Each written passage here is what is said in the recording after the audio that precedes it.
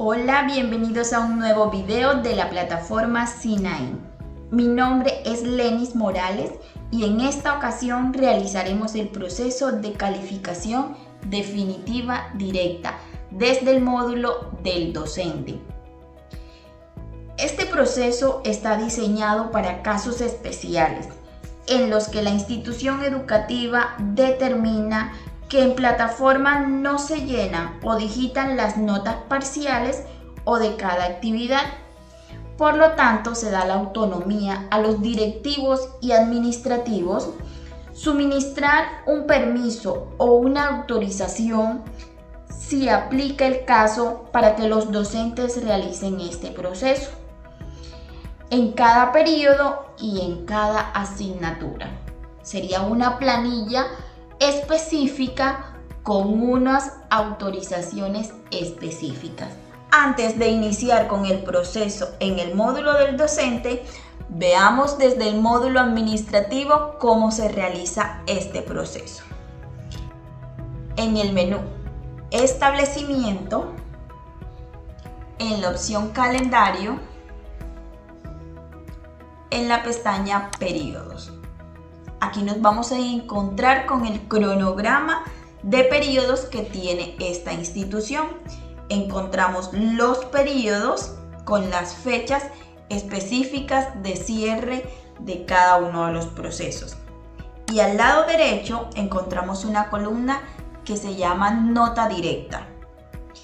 Este nos permite seleccionar sí o no si deseamos tener una planilla de nota directa en ese periodo específico.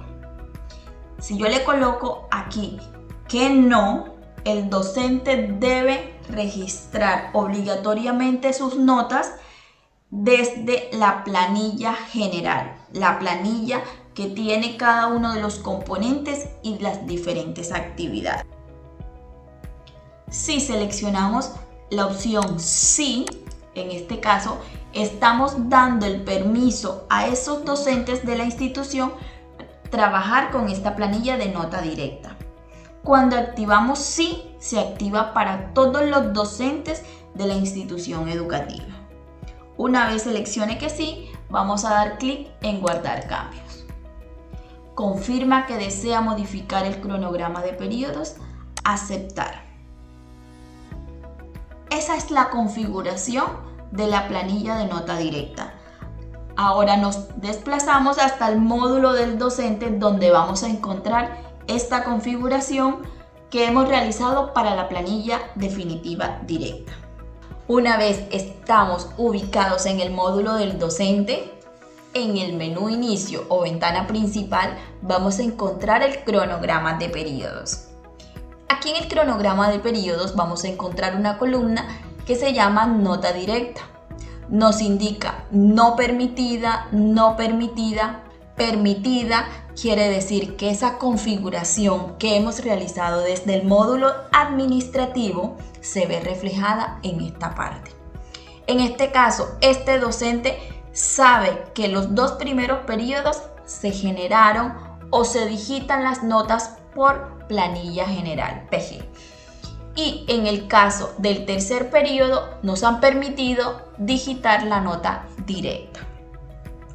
Una vez el docente confirma que sí tiene permitido realizar el proceso de calificación definitiva directa en un periodo específico, se ubica en la ruta evaluación, calificaciones, calificación definitiva directa.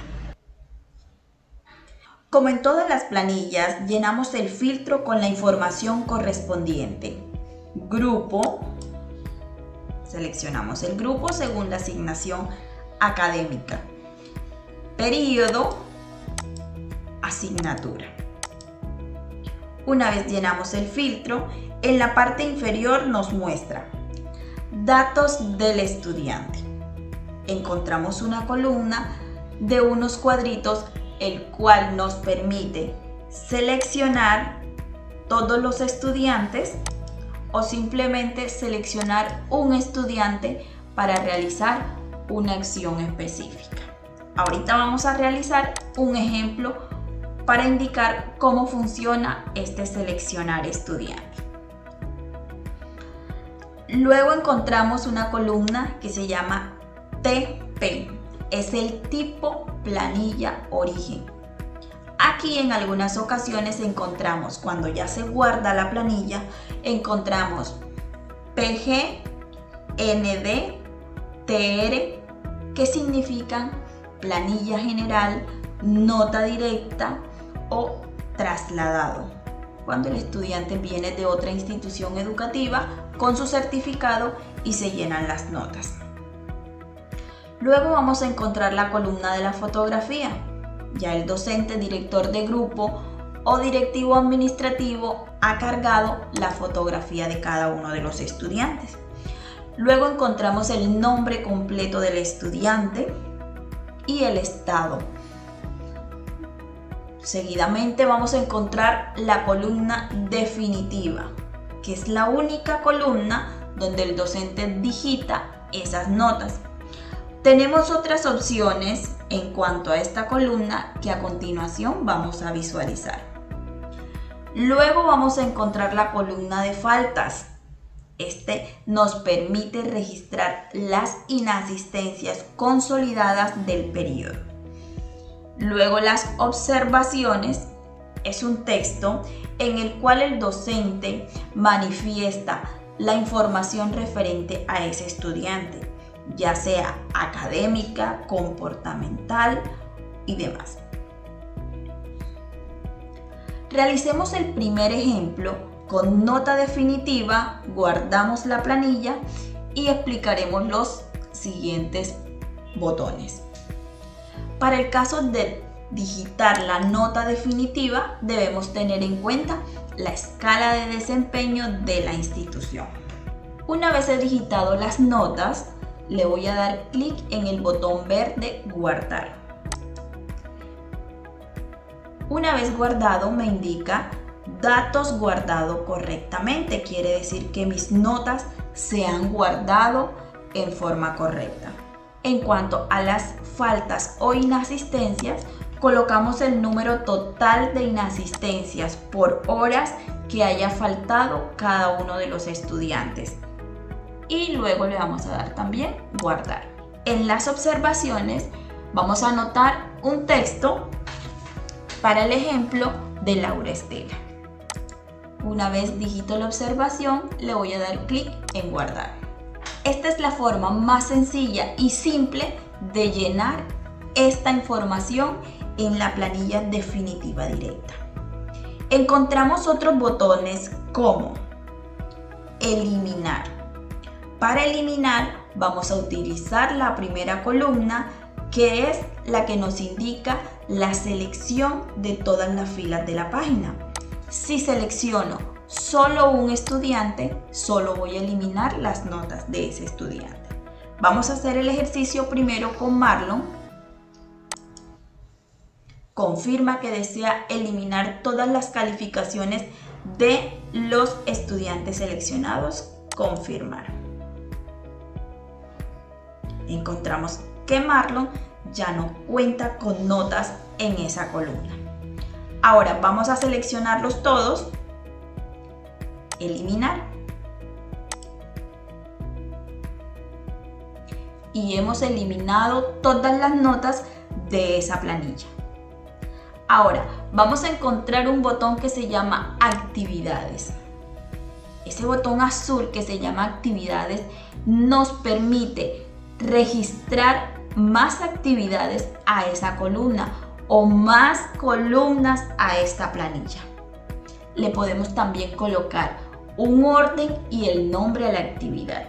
Por ejemplo, en el orden número 1 vamos a buscar que esa columna se llama taller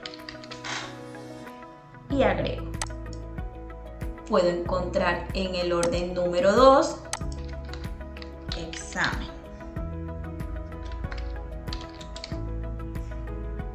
agregar y encontramos que tengo dos actividades para esta planilla. Puedo agregarle la fecha en la que voy a realizar ese proceso. o le puedo agregar el peso porcentual que tiene esa actividad sobre el periodo. Vamos a guardar esta información y vamos a visualizar cómo quedó nuestra planilla. Vean que la planilla en estos momentos consta de dos columnas. El docente debe digitar dos notas si es el caso. Dos o más, dependiendo de la cantidad de actividades que el docente quiera o desee realizar para que para que el sistema le arroje la nota definitiva del periodo. Nuevamente le voy a dar clic en actividades y en este caso voy a eliminar, voy a utilizar el botón del lado izquierdo de esta ventanita, eliminar las actividades que he creado. Simplemente las marco y le doy clic en eliminar. Confirma que desea eliminar las actividades seleccionadas, aceptar. Vamos a darle cerrar y encontramos que la planilla nuevamente queda solo con la columna definitiva. Este botón actividades es opcional para los docentes que deseen registrar más de una nota definitiva. Una vez mi planilla haya quedado nuevamente con una sola columna, encontramos el botón autollenar. En autollenar dice asigna calificaciones de forma automática a los estudiantes, a todos los estudiantes que yo seleccione. En este caso voy a seleccionar todos los estudiantes y voy a utilizar el botón autollenar. En este caso me permite seleccionar o digitar la nota que le quiero asignar a los estudiantes. Vamos a asignarle un 3,6 y le voy a dar clic en asignar. Una vez le doy clic en asignar, podemos observar que a todos los estudiantes le asignó un 3,6, que equivale en la escala de desempeño de esta institución a un básico. Por último, nos falta el botón Importar calificaciones de fuentes externas. En Sinaí contamos con tres fuentes externas si el caso aplica para la institución. Las tareas en línea, que es cuando el docente registra una tarea desde la plataforma Sinai para que sus estudiantes realicen y las califica desde allá en la planilla de tareas en línea. El aula virtual Chamilo, que es la plataforma que algunas instituciones educativas tienen para realizar todo este proceso de ejercicios, tareas, actividades. El docente realiza la actividad, la califica y luego realiza la importación de notas. Autoevaluación SINAI, cuando le hemos asignado al estudiante la opción de que él se autoevalúe desde el módulo del estudiante. Simplemente se selecciona una de estas opciones. Dice, importante, las calificaciones que se importan reemplazan las calificaciones asignadas actualmente en la columna de destino seleccionado. En este caso, esta sería la pestañita de seleccionar la columna donde vamos a traer esas notas. Vamos a decirle por aquí cerrar. Y esto es todo por la planilla de calificación definitiva directa desde el módulo del docente.